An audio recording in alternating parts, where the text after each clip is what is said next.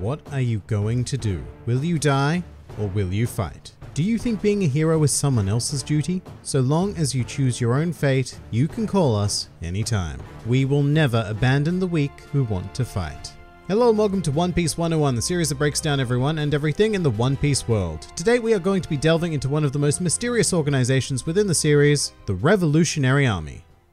The Revolutionary Army are a powerful militaristic organization that exist outside of the two most commonly explored factions in the series, being pirates and those aligned with the world government. In fact, even more so than pirates, the Revolutionary Army views the world government as their strict enemy, and their goal is to overthrow the world nobles who currently preside over the majority of the planet. The organization was founded by its supreme commander, Monkey D. Dragon, a man who very much remains shrouded in mystery himself, but he began his crusade due to his utter disgust in regards to the hedonistic nature of the world nobles, as well as the lesser nobles who directly rule the various individual individual nations of One Piece. As a result of these continued actions working towards direct destabilization of the world government, Dragon was deemed their greatest enemy as well as became the most wanted man in the world. As for exactly when the Revolutionary Army was formed, it's a bit vague at the stage of this recording, but it was somewhere between 19 and 24 years ago. So they've been operating for around two decades and as such, they've had a pretty strong presence in the world. For example, a contingent of the Revolutionary Army were present 12 years ago in the Goa Kingdom in East Blue, where they managed to save the citizens of the Grey Terminal who were going to be burnt alive at the direction of the Goa royal royal family. And that sort of blatant disregard for human life is really what drives Dragon and the other Revolutionary Army members to fight. Despite that, it should be noted that they do only conduct strategic intervention, so as not to draw too much attention to themselves. For example, in the aforementioned situation with the Goa Kingdom, whilst he managed to save many citizens, Dragon admitted that he did not have the power to change its ruling system. And this is more than likely not a reference to direct power, as his forces more than likely could have occupied the island, but that would then make both Goa and the Revolutionary Army a massive target to which the full force of the world government would be deployed to wipe them out. Instead, the primary focus of the Revolutionary Army for the past two decades or so has been on stockpiling weapons and recruiting members in order to build a force capable of a direct attack against the world government. And in regards to their recruits, the army has developed quite a fighting force, including their chief of staff, Sabo, a former noble of the Goa Kingdom who became ashamed of his heritage and who was saved by Dragon. Sabo also happens to be the sworn brother of a certain Monkey D. Luffy, the son of Dragon. Below Dragon and Sabo, the Revolutionary Army has four commanders being Karasu, Belo Betti, Morley, and Lindbergh, each of whom direct the North, East, West, and South armies respectively. Each of these individuals possesses exceptional abilities that are integral for the army to thrive and survive. And I'd like to draw particular attention to the devil fruit power of Belo Betti in regards to this, which is the Kobu Kobu no Mi, a paramecia type fruit that allows its user to awaken the latent physical potential of others and inspire them to fight, making it a perfect addition to an organization whose goal it is to overturn tyrannical rule on the masses. Below the commanders, there are also several high-ranking officer positions consisting of some highly influential people in the One Piece world. For example, we have Emporio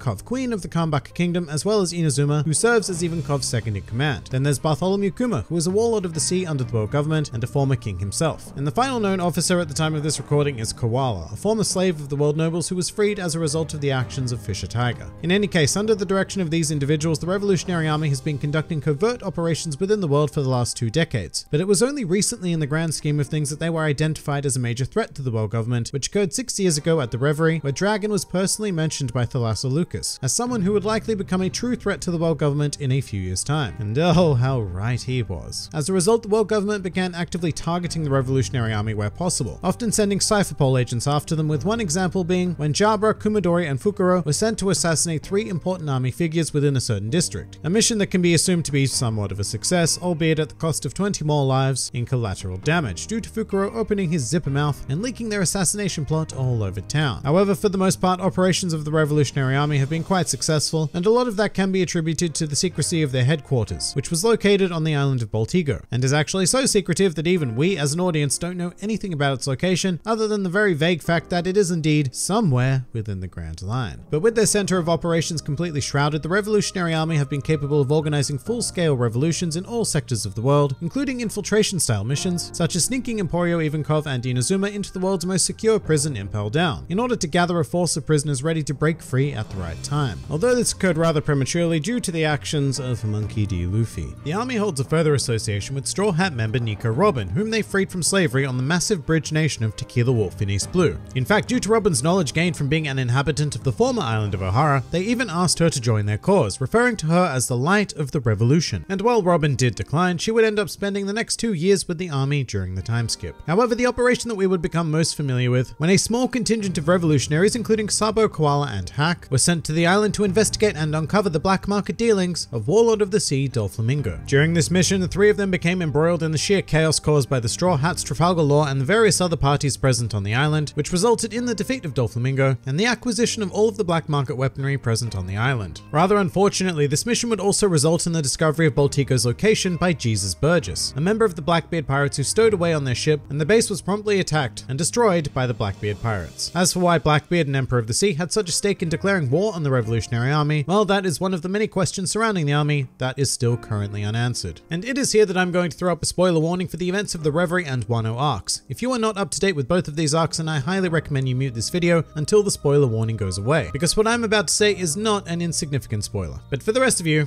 here we go. Following the destruction of Baltigo, the location of Momoiro Island under the rule of Emporio Ivankov was chosen as the new base of operations for the army, who were planning an imminent attack on the upcoming Reverie. As such, the Revolutionary Army mustered its full forces and infiltrated the Holy Land of Marijois, with one of their primary goals being the rescue of their comrade Bartholomew Kuma. And on the fourth day of the Reverie, the army sprang into action, facing off directly against two admirals of the Marines, Fujitora and Ryokugyu. And at the time of this recording, the outcome of that battle, as well as the fate of the Revolutionary Army in general, is unknown. Some more fun facts about the Revolutionary Army. Despite having the world government as a mutual enemy, revolutionaries and pirates rarely cooperate, and in fact on many occasions pirates are also seen as enemies of the army due to the general tyranny that they cause the citizens of the world. With that said, there have been situations in which they have joined forces with pirate factions should it be in the interests of accomplishing their goals. Dragon's influence over the revolutionary army can be clearly seen in their official flag, which displays a dragon in between the letters R and A, although it should be noted that in the past they had been identified by a simple red triangular flag. And finally, a truly useless fact. The Revolutionary Army is actually so widespread that it even has its own non-canon member, being Raise Max, a gambler who was imprisoned by Gild Tesoro in One Piece film Gold. But that pretty much does it for the Revolutionary Army. If you enjoyed this video and the content this channel produced in general, then please do consider donating to the Grand Line Review Patreon because the support of all of you amazing people is what continues to make this channel possible. Also do check out my Teespring store if you're interested in shirts, hoodies and other miscellaneous items, with the proceeds going directly to support the channel as well. And if you'd like to join the fun at any time, then please do head over to my Discord server where a wide array of shenaniganry takes place on a daily basis. And finally, please do comment with who, what or where you'd like to see featured in the next One Piece 101.